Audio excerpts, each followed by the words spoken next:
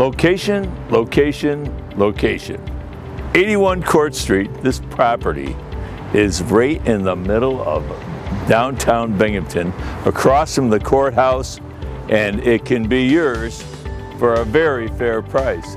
It's a five-story brick facade, and we have 2,100 square feet on the first and second floor, and then the top three floors, which haven't been used since the early 1900s, I'm talking like 1910. These floors on the top of this building need a total renovation, but there is a federal tax credit and there is a uh, state tax credit, 20% and 20%. So you get 40 cents back on a dollar invested in this building.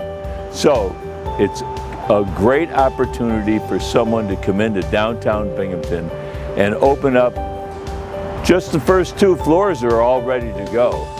Give me a call if you want all the details or if you'd like to tour the building. I can be reached at 607-725-2122.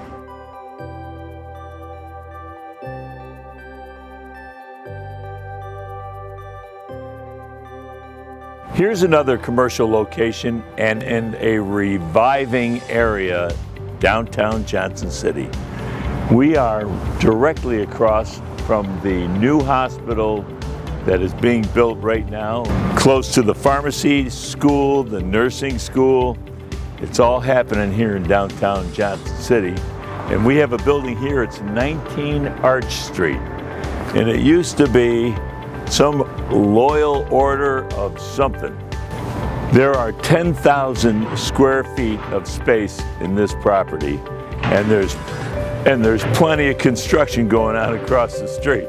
So if you're interested in seeing this property, you want to start a project and get on board with downtown Johnson City, you can give me a call directly at 607-725-2122.